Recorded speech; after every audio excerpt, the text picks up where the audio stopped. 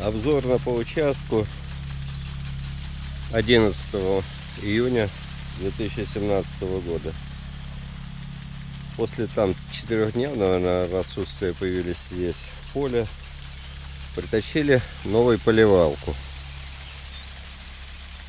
До этого я использовал пластмассу, просто опробовал тему, как это работает. Мне понравилось, заказал, купил две металлических. Они работают даже, если послушать ее, работает она тише, чем электрич... э, пластмассовая. Имеет кучу настроек. Сейчас она вот стоит в режиме распыления, хотя и короткого.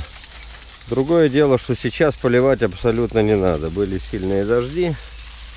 И, в общем-то, все полито до упора и даже слишком. Поэтому сегодня, в общем-то, основные работы на участке это не полив, а, например, обещанные ранее очередное окучивание картофеля. В этот раз я его сделал с помощью доработанного нового культиватора, не культиватора, а окучивателя.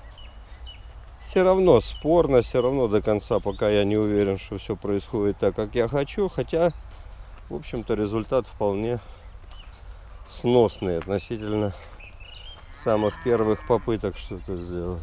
Теленок мочит. Из интересного. Картофель уже поднялся в хороший рост. Вот это второе поле. Поле, которое достаточно долго пустовало, стояло, как говорится, под паром. И в этом году оно выстрелило очень даже хорошо. То есть картофель на этом поле стоит даже выше чем на моем основном посадочном поле. Хотя я предполагал, что здесь это поле будет вторичное и сажал его по остаточному принципу. Но вот сейчас смотрю, оно бурненько пошло, очень даже. Это половинка 20-метрового поля, 8 рядочков. Вторая половинка так просажена чем-то поверх чего-то. Вот эти буйные зеленые, это у нас между грядья. Их надо просто тупо закультивировать. Наверное, этим я сейчас и займусь. Закультивируем лоплошем на коротких фрезах.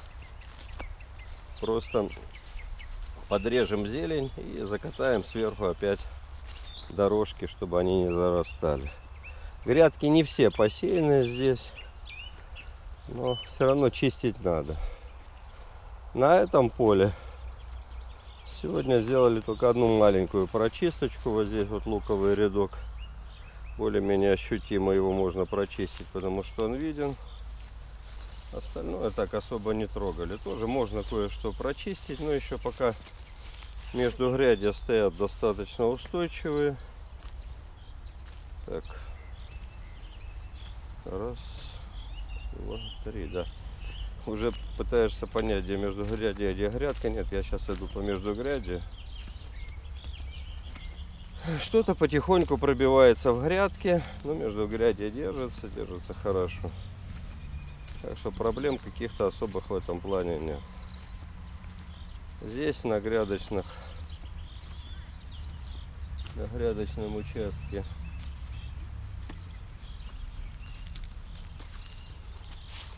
тоже культивировать пока ничего не будем. В общем, все потихоньку. Коротенький обзор по состоянию на 11 число 17 года, июнь месяц.